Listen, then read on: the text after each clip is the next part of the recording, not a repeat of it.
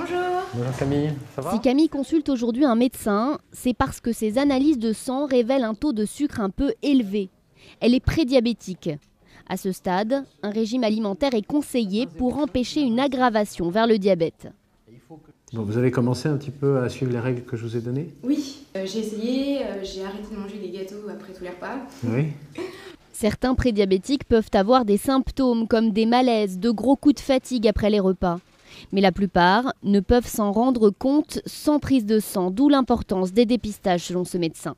Il est important de savoir si on est prédiabétique pour éviter de développer un, diabète de type 2 installé, parce que je vous rappelle qu'il est irréversible.